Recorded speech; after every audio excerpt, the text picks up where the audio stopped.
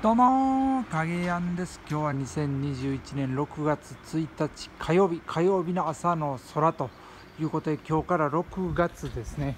6月に入ってきました。えー、とうとう6月、うん、とうとうというか早いですよね。なんか1年が早い。さすがにもう1年始まったばっかりやのにっていう感覚はないですけどもなかなか早い、うん、もう6月かと。もうこうあっという間にこう年末になるなと。いうのをこう実感しております。えー、まあまあ、えー、これ唐辛子なんですけどもこう葉っぱがたくさんこう生えてきている感じですね。そして昨日見てたきゅうりがねちょっとこうちょっとずつこう実がこうなりだしているということで、うん、あこの辺ちょっとこういうのが出てきてますね。これ見えますかね。うん。これはちょっと出てきている感じ。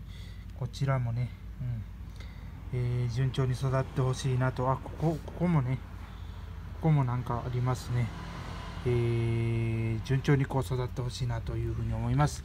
そしてこちらの唐辛子もなかなか順調かなというふうに思います。でナスはあんまり変わらずですね。ナスは変わらず。そしてこちらも、うん、こちらはちょっと光が当たりにくい場所にあるのかな。どうなるかっていう感じですけども、えーこれからが楽しみです、うん、ということで以上となります。ありがとうございます。